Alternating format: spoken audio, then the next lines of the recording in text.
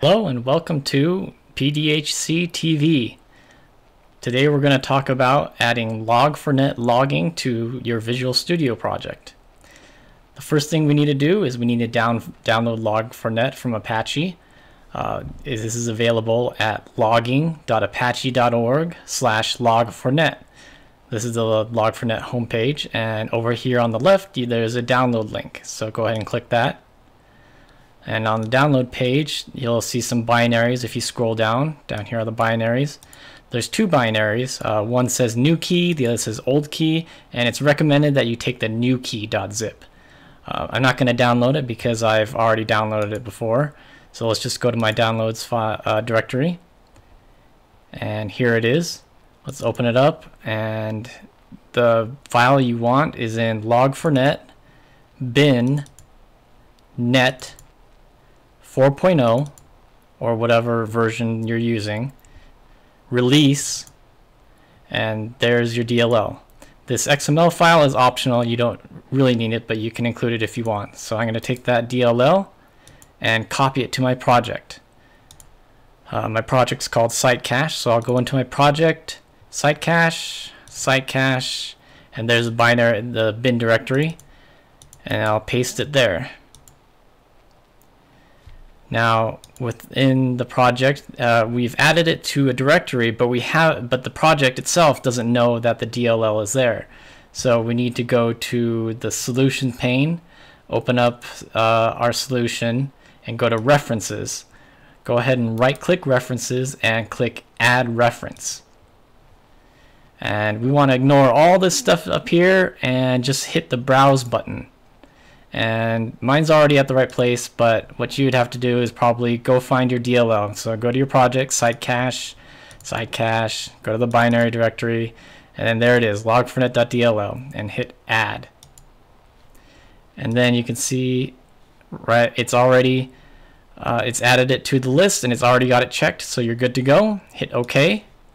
And you see that uh, it's been added as a reference along with all the, your other references. Here it is at the top log4net First thing you need to do after you've added the reference is go to this assemblyinfo.cs file. And you need to add a line here.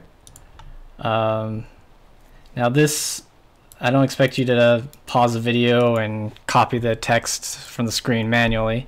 So I'll include this somewhere either in the description or somewhere else in a text file so you can just copy and paste it.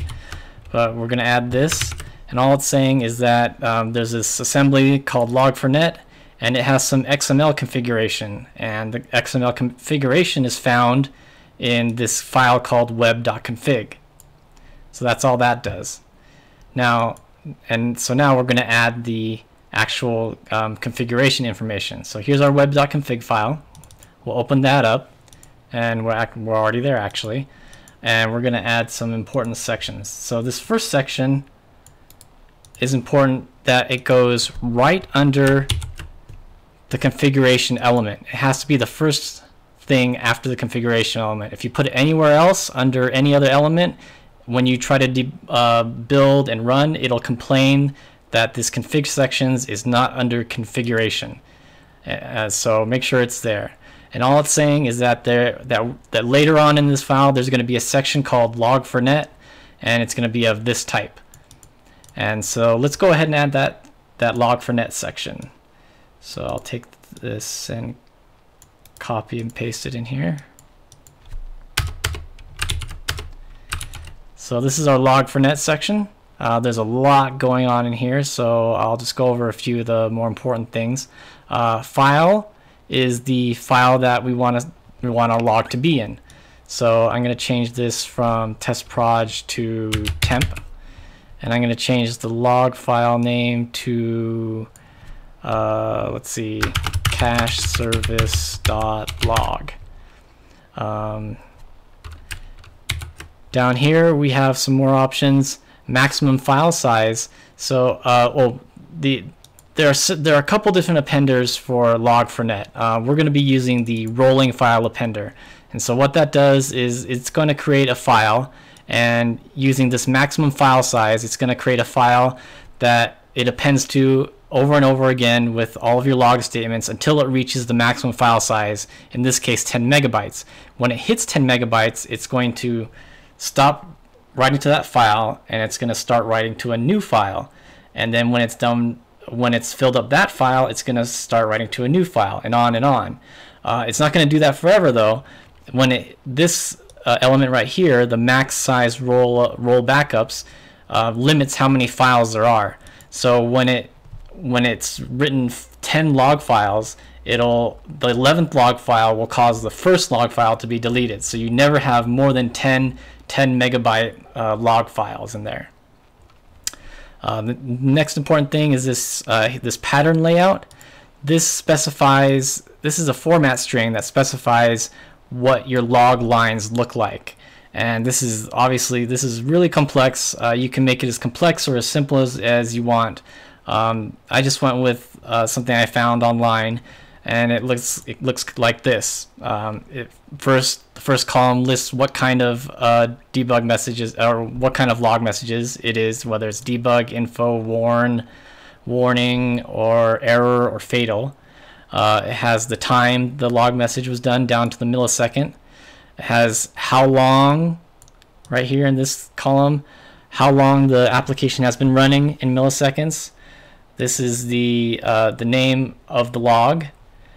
This is the name of the method that that the logging method was called from. So it was called from get a method called get cache news. And after this dash is the actual message that you specified when you were when you uh, put the log line in your um, code. All right, so that's what that looks like. So let's go ahead and make sure everything's saved. Now, now that we have um, our assembly referenced, we can go into our uh, code file and we can type using log4net and that's okay. Um, we need to create a, uh, a logging object um, which we'll do in uh, here in the members of this class. So we'll do private static read only ilog. It's type ilog. I'm going to call it logger. And there is the way you get a, an ilog object is you call log manager dot get logger. And there's two overloads for get logger. Um, one just takes a string uh, for a name, so you can specify any name you want. So you can say logger, logger name, or you can give it a type. So type of, and in this case, this uh, my type is cache service, so I'm going to type cache service, and that's going to be the name of my that's going to be the name of my logger. I'm going to go with the type of uh, overload for this one. So now I have um, a logger object. Let's go ahead and use it. So you can see I've already typed in a logging statement here. It says logger dot debug hello somebody called cache get cache news. Let's delete that because we want to go over something else. Um, there's different levels of logging in Log4Net. There's five levels. The lowest level of logging is called debug. These are just the lowest level informational log uh, log statements.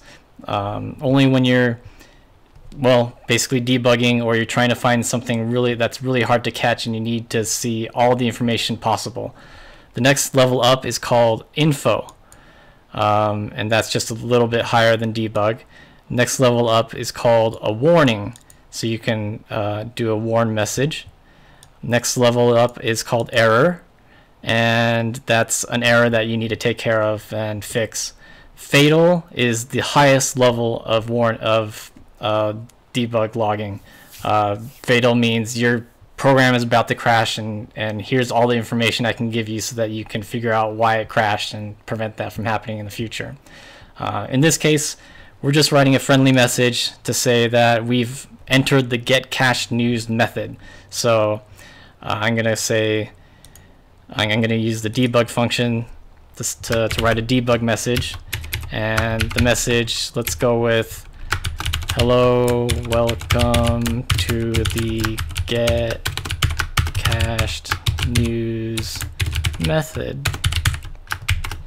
and hit Control S. All right, and that's all we should need for um, to write out this log message.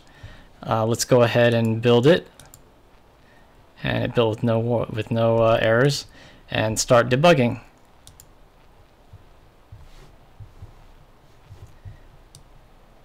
Here's the debug window.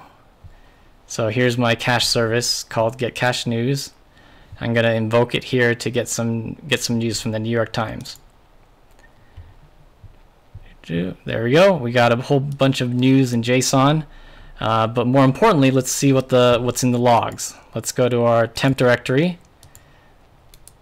Hit refresh. Oh, there it is right there. It's sorry, it's cache service.log. If we open this in Notepad++, we can see that we wrote out a message. It's a debug message. This was a time it was written out 116 milliseconds after the application was started. It was called from Get Cache News, and the message is, Hello, welcome to the Get Cache News method. So there you go. That's how you use Log4Net in your Visual Studio projects. I hope you enjoyed the, the video, and have a nice day.